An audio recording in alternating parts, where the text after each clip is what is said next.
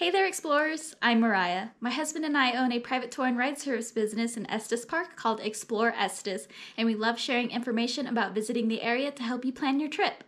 If you're planning a visit to Estes Park, Colorado in the month of January, this video is for you. This video will be a short overview of what to expect in the month of January, and we'll talk about everything you need to know to make the most of your winter adventure during our coldest month of the year.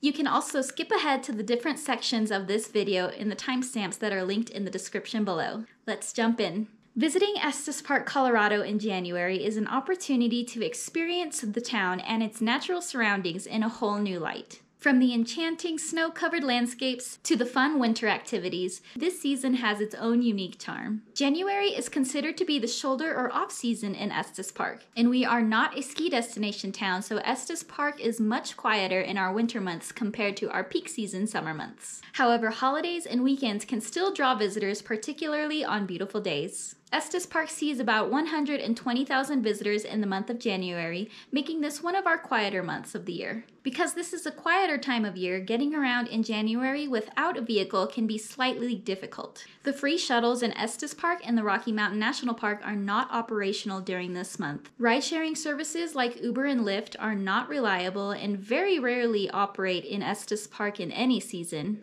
and the Bustang bus service from Denver to Estes Park takes a winter break. Your best bet is to bring your own vehicle or utilize local ride services like us at Explore Estes to help you get around the area. At Explore Estes, we are a licensed transportation business that offers rides within Estes Park, ride services down the mountain as far as Boulder and Fort Collins, and we also offer rides to trailheads into the Rocky Mountain National Park. See the link in the description below to request a ride service with Explore Estes to help you get around town. Some rental options are available in town, but they are very limited. Rental options in town include Uptop Automotive, who have a few vehicles to rent in town, and there is Backbone Jeep Rentals, who specialize in 4x4 Jeep rentals. The Turo app is another rental choice for a few vehicles available in the area. However, given unpredictable weather conditions this time of year, consider an all wheel drive or four wheel drive vehicle.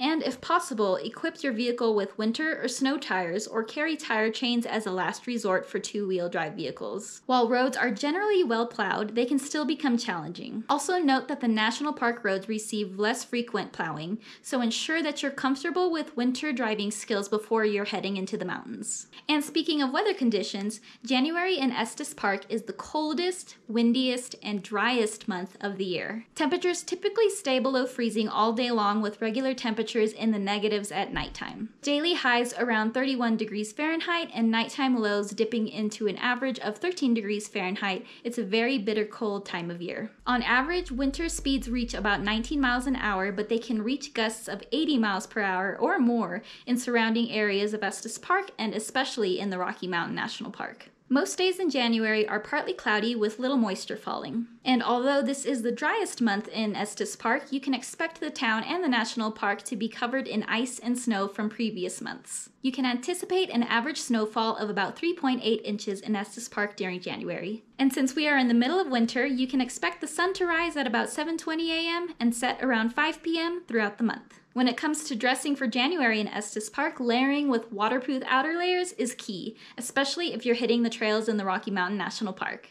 Begin with a moisture wicking base layer, add a cozy fleece, and top it off with a waterproof or resistant outer layer. Be sure to wear wool socks and some waterproof boots to keep your feet dry. Leg gaiters come in handy for keeping snow out of your boots, and micro spikes are essential for icy hikes on popular trails. Even navigating town can be treacherous at times, so consider using microspikes when shopping in town. For deep snow adventures, don't forget snowshoes. And you can rent gear like microspikes and snowshoes in town at the Estes Park Mountain Shop so you don't have to bring your own. And lastly, don't forget to protect your face from the chilly wind with snow goggles and a neck gaiter if you're hiking in the Rocky Mountain National Park. Make sure you check out our detailed list of what to pack in winter in Estes Park that's linked in the description below for some of our favorite gear. As I mentioned before, Estes Park does not have any ski lifts in town or in the surrounding areas, which is why our winter months are much quieter than the summer months. In January, some shops and activities are closed throughout the winter season, but there are still many fun things to do in and around town. The Rocky Mountain National Park is the biggest draw of visiting Estes Park in any season, but some of our favorite things to do in the month of January are take a scenic drive or tour through the Rocky Mountain National Park, check out our private winter tours also linked in the description below, visit the historic Stanley Hotel, take a snowshoe hike or go sledding. You can even go ice skating on an alpine lake, shop downtown on Elkhorn Avenue for souvenirs, or go cross country skiing in the backcountry. I hope this detailed overview helps you prepare for your visit in Estes Park, Colorado in January. Have you visited Estes Park in the month of January before?